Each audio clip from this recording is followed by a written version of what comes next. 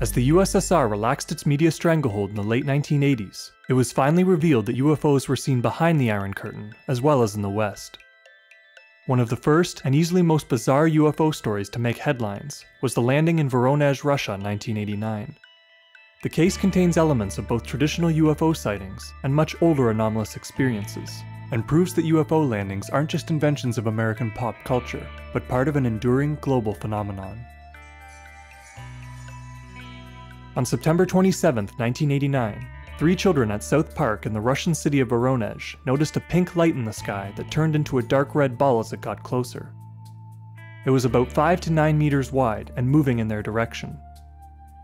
Vasya Surin, Genya Blinov, and Julia Sholakova watched the ball as it approached and hovered in circles about 12 meters over the park. The children could see grass being disturbed under the sphere as it moved, Suddenly, the sphere floated away and returned a few minutes later. By this time, a crowd of about 40 adults had gathered and watched as a small hatch opened on the bottom of the sphere. A three eyed creature peered through the opening. After briefly scanning the terrain, the creature disappeared back inside, and the object landed in the park. To the shock of the witnesses, a door opened up on the bottom of the sphere, and the creature, or another similar one, walked out into the park with a bizarre, boxy robot. The creature wore silvery overalls, bronze boots, and a large disc on its chest. It had a wide but small domed head that rested directly on its shoulders, and two white eyes with a red one in between them. The children guessed the being to be nearly three meters tall. The creature uttered something, and a glowing rectangle appeared on the ground in front of it. He uttered another phrase, causing it to disappear, he then adjusted something on the robot, which caused it to start walking away. Terrified, a boy in the crowd began to scream, but was paralyzed when the being turned in his direction. Light shot from the creature's eyes as it locked its gaze on the boy, causing the crowd to panic.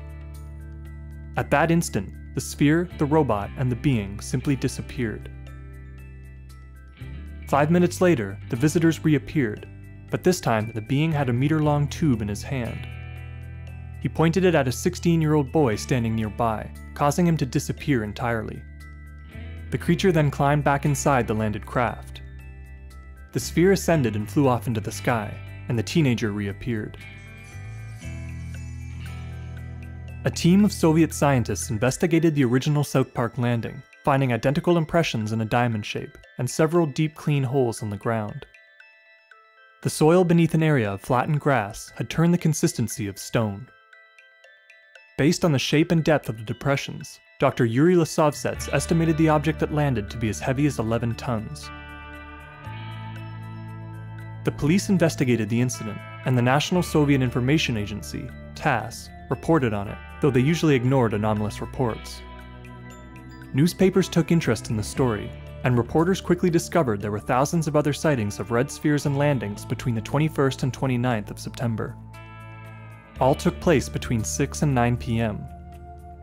Most involved only the glowing sphere, some involved the three eyed alien and robot. Some even involved short, grayish green creatures in blue, loose fitting overcoats. In the US, the St. Louis Dispatch picked up the story, and it was soon reported on by the New York Times. Western media generally reported that the object had only been witnessed by children, however, and did not draw much attention to earlier sightings. The same sources often reported that there were two alien creatures present at the South Park landing, when in reality there was only one. Under its strange veneer, the Voronezh incident contains elements common to some unlikely anomalous experiences. First is the use of a tube-like instrument and its ability to paralyze onlookers. Similar handheld devices are a common element in UFO stories, and they're often used to affect witnesses from a distance, a French farmer named Maurice Masse was paralyzed in 1965 after a short being that emerged from a landed saucer pointed a small straight instrument in his direction. George Gauthier of Nouatre, France, saw a suited humanoid figure standing in front of a domed craft with a metal rod in its hand. Gauthier and his crew of seven construction workers were all left paralyzed until the being in the craft simply vanished. What's more, remote paralysis and the use of tube-like devices can be traced back well before the flying saucer landings of the late 20th century. Like modern ufonauts, fairies in the Middle Ages were reported to paralyze their witnesses, either by the stroke of their hand or by the use of little wands. The Paiute Aboriginals speak of a previous civilization in present day California that used small tubes to stun their enemies from a distance. The Tzeltal of present day Mexico share stories of the Ikals, short black humanoids that sometimes paralyze helpless onlookers. Even shielded from outside media, the people of Voronezh saw the same strange beings and craft that people around the world have seen for centuries. This reminds us that the UFO phenomenon cannot be explained purely as a product of 20th century American culture, as skeptics often allege.